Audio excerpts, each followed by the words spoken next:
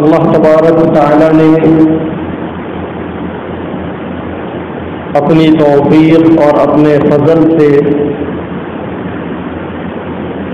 और अपने बे इंतहा अल्ताफ़ और इनायात के नतीजे में हम सबको रमज़ान का मुबारक महीना अता फरमाया।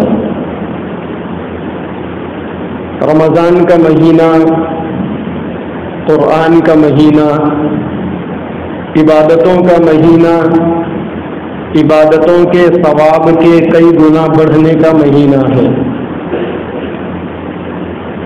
इस महीने में अल्लाह तबारक ताला ने बंदों की इबादतों में आसानी के लिए और नफ्स और शैतान के धोखे से अपने आप को बचाने में सहूलत के लिए महीने भर के रोज़े फ़र्ज़ किए। जो लोग रमज़ान के मुबारक महीने में थोड़ी सी मेहनत कर कर, थोड़ी सी मशक्क़त उठाकर अपनी मर्ज़ी से नेकियों की तरफ़ अपने आप को मसरूफ़ रखते हुए और थोड़ा सा मुजाहिदा कर कर गुनाहों से अपने आप को बचाएँगे। तो उनके लिए साल भर नेकियाँ करना और गुनाहों से बचना आसान हो जाएगा। ये रमज़ान के मुबारक महीने की बरकत है।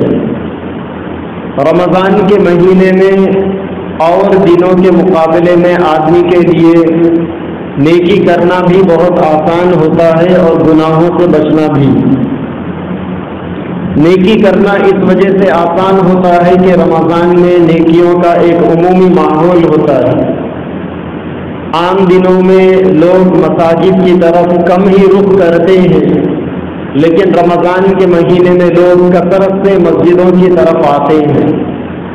आम दिनों में नमाजों का अहतमाम कम होता है। रमज़ान में एक आम से आम मुसलमान भी नमाजों का अहतमाम पाबंदी से करता है।